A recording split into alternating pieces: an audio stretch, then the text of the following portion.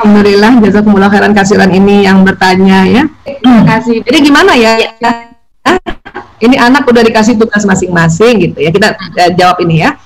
Uh, sebetulnya begini, membimbing anak itu memang nggak bisa instan. Cuman dikasih tahu sekali, dua, tiga kali. Kadang-kadang anak ini butuh beberapa kali. Nah sekarang tinggal waktu kita menyampaikannya, uh, kira-kira kita pakai bahasa yang mana nih gaya gaya komunikasinya ya? Siapa tahu masih di 12 gaya uh, populer kesalahan dalam komunikasi tadi yang yang Bu Eli Risman paparkan. Apakah masih merintah? Apakah masih menyalahkan? Apakah masih membandingkan? Apakah masih meremehkan? Kan gitu ya? Apakah masih isinya terlalu banyak makanya makanya makanya ya? Terlalu menasihati ataukah mengkritik ya? Ataukah membandingkan? Ataukah menyindir eh kira-kira masih di situ nggak? Makanya eh, itu tadi kan kalau ada kata makanya makanya itu kayaknya nggak enak dengarnya. Nah untuk itu untuk itu kita coba coba cari tahu dulu. Kemarin-kemarin kita ngomongnya kayak apa ya? Kemarin-kemarin ya. Nah ini ini lanjut dulu sama yang yang pertanyaan tentang kalau kita bicara sama anak harus gimana ya. Sebetulnya Allah sudah mengajarkan kita kita kalau bicara sama anak tentunya yang lembut banyak sekali ayat-ayat Quran ya. Salah satunya ini yang paling paling saya selalu uh, pegang ini ya. Ali Imran 159 ya. Bismillahirrahmanirrahim maka dengan rahmat karena rahmat Allah maka karena rahmat Allah engkau bersikap lembut terhadap mereka kan disuruhnya gitu Wah itu susah banget sih kita harus lemah lembut gitu ya kan apalagi suara saya pita suara saya kan besar ya kayak saya juga tapi pita suara besar lembut itu bisa ya. Itu kan cuman cuman timbre saja. Pita suara itu hanya membuat timbre saja ya. Jenis jenis timbre suara kan gitu. Nah kenapa sih harus susah-susah lembut-lembut gitu? Karena lanjutan di Ali Imran 159 Allah berfirman sekiranya engkau keras dan berhati kasar mereka menjauh darimu. Ya. Nah ini bahaya kalau anak menjauh dari kita apalagi menjauh dari luar rumah banyak kejahatan di luar rumah. Ya bully, judi, narkoba, LGBT, pornografi yang ada di ya porno aksi.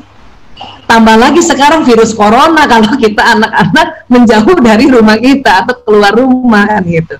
Ya nah jadi kita diminta lemah lembut karena kalau kita keras kasar mereka menjauh darimu. Bu Aisyah saya sudah lembut tapi tuh anak masih songong masih susah juga saya sudah lembut kasih tahu tugasnya dia juga bisa belum mengerjakannya. Ya di ayat itu Allah ya berfirman ada tambahannya di situ. Maka maafkanlah mereka dan mohonkan ampun baginya. Jadi kalau misalnya kita sudah minta sama anak ya sudah lembut tapi tuh anak masih aja tarsok tarsok atau songong kita disuruh maafkan. Ya Allah saya maafkan anakku ya Allah. Sebut namanya Bu yang lengkap fulan bin fulan ya Allah kalau perlu, kenapa? Kenapa ibu harus maafkan? Sebut juga itu ini dalam pendalaman ya, pendalaman teknik ya. Kenapa kamu ibu maafkan anak itu? Siapa yang ibu maafkan? Kenapa dia maaf? Eh, ibu maafkan? Ya ya Allah, karena dia disuruh cuci piring berkali-kali dia nggak mau ya Allah, dia belum melakukan ya Allah kan gitu. Ya, dan mohonkan ampun baginya ya Allah ampuni dia anakku fulan bin fulan ya Allah berkali-kali saya suruh cuci piring yang belum juga dia kerjakan itu tuh ya di ayat itu ada sambungannya ya. Dan bermusyawarahlah pada mereka dalam satu urusan pada satu urusan. Baru kita ajak musyawarah lagi. Tapi sebelum kita musyawarah atau mengingatkan mereka atau dialog lagi tentang tugas-tugasnya kah atau tentang apa pun itu tiga yang diminta ya tahapannya. Minta lemah lembut. Kenapa? Karena lemah lembut bukan turunan apa bukan bawaan lahir seorang ibu pada anak seorang orang tua pada anak. Kita orang tua sama anak sendiri lebih cenderung emosi kita turun ke buru-buru, las buru-buru. Kenapa? Karena antara kita takut dengan marah, kita seringnya begitu. Malah sama anak orang lain, kita malah bisa lebih lembut. Ya, makanya dalam pendidikan kita tidak bisa lagi 24 jam kita sendiri yang didik. Makanya kita titiplah sama orang lain yaitu Bapak Ibu guru. Nah, anaknya Bapak Ibu guru dititip juga sama Bapak Ibu guru yang lain kan gitu. Makanya dikatakan kalau orang tua sudah bisa lembut sama anaknya itu karena rahmat Allah turun. Jadi ayah bunda kalau sudah bisa ngomong lembut sama anak itu rahmat Allah turun ke kita. apa nggak seneng tuh nggak enak ya? Kita bahagia banget itu. Ya rahmat Allah turun. Makanya dari kalimat di awalnya maka karena rahmat Allah engkau bersikap lemah lembut terhadap mereka. Jadi kita minta ya Allah astagfirullah ya Allah mohon lemah lembut ya Allah dan maafkan mereka ya Allah saya maafkan anakku ya Allah fulan bin fulan ya Allah sudah saya bilang ya Allah tidak merokok jangan merokok tapi tetap merokok. Kita bilang kayak gitu. Dan mohonkan ampun baginya ya Allah ampuni dia ya Allah yang lain yang rokok tapi dia yang ngerokok. Misalnya ini ya kalau soal rokok ya uh, baru ajak musyawarah lagi. Nah di situ baru kita ajak lagi sini. Nah ibu mau bilang gimana nak? Sudah bisa berhenti rokoknya? Ya sekarang udah lumayan bu. Alhamdulillah. Itu ya tapi sebelum musyawarah itu tiga tangka minta lembut maafkan dan mohonkan ampun insya Allah itu rahmat Allah juga turun pada anak kita ya Terus gimana Bu Aisyah? Ini uh, anak saya ya, anak saya membimbing anak sambung dan kemudian dia ada luka juga dengan pola asuh yang uh, di awalnya ya. Kembali Bu. Pakai tadi Ali Imran 159 kalau kita mau ajak ngobrol atau kita mau ajak diskusi gitu ya. Dan ingat tadi juga ada ada satu apa fenomena bahwa kalau kita sama anak anaknya orang itu jauh lebih gampang untuk bisa atur intonasi suara atau kita bisa lebih gampang lembut. Ini ini ini uh, kekuatan juga karena ini anak sambung. Ya, kita menghormati ayahnya dan kita ingin membantu juga anak. Tapi sekali lagi, lihat lagi umurnya. Pada saat Ananda ini sudah mulai masuk uh, akil balik, katakanlah 6 SD, SMP ya, ini masa-masa yang labil banget. Maka ya tolong tidak usah ibu sambung. Kalau tuh anak kalau misalnya nih anaknya perempuan itu kalau lihat ibunya jutek banget. Ya ibu sambungnya maksud saya ya. Atau kalau anak laki-laki lihat ibu sambungnya suaranya selalu intonasi tinggi. Nah anak-anak yang di SMP SMP ini karena sedang pubertas. Hormonal mereka sedang tinggi tingginya ya. Yang biasanya mungkin waktu SD hormon perempuan itu keluar ini kalau saya bisa analogi ya supaya bisa diingat. Keluarnya setiap hari barangkali satu cangkir estrogen itu keluar. Tapi pas anak perempuan sudah menstruasi itu keluarnya satu galon. Itu dia sendiri kadang-kadang lebih perempuan dari kita ya. Anak laki juga gitu hormon testosteronnya pas SMP nih keluarnya satu galon dan kita tahu testosteron itu salah satunya sifat dari testosteron itu agresif Ya, ini ini buat kita juga siapa pun yang punya anak laki-laki, apalagi SMP, ya, ya dan masih juga SMA, ya SMA juga masih agresif tapi agak berkurang daripada SMP. Kalau kita mendesak-desak anak laki, dia naik intonasi suaranya juga berarti ya kita yang mundur dulu. Kenapa? Dia itu hormonnya lagi banjir.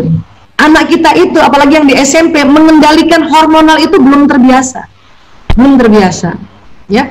Yang anak perempuan pada saat ya biasanya itu uh, keluarnya satu galon estrogen suatu ketika dua hari momen itu sama sekali estrogen nggak keluar itu juga kaget badannya lagi ya. Jadi sekali lagi kita kalau dia usianya SMP mo mohon permakluman kita permahfuman kita kita tinggikan lagi ya. Bersabarlah nanti dia mahasiswa makin baik anak-anak ini. Dan sekali lagi kuasai tentang 12 gaya komunikasi yang uh, uh, komunikasi yang tadi Bu Eli Risman sampaikan. Itu gaya 12 gaya populer yang kekeliruan kita di situ. Kuasai aja itu ya. Jadi kalau nanti anak sambung ibu kita, kita ibu misalnya uh, besuk dia di boarding school atau pulang terus jutek ya sudah. Maafkan mereka dan mohonkan ampun baginya. Baru kita tegur. Apa kabar sayang? Sehat ya anak ya mau makan, ya itu aja. Ya. Kalau dia lagi belum bisa membuka dirinya pada orang tuanya, pada ibu sambungnya, sabar. Nanti ada satu titik. Ya. Istiqomah perlihatkan bahwa kita memang sayang sama dia. Jadi satu titik nanti dia juga akan bilang dia mau cerita sama kita ya tentang apa saja lukanya. Ah, barulah itu kita bantu untuk membetulkannya. Tapi ingat tunda nasihat dulu, tunda.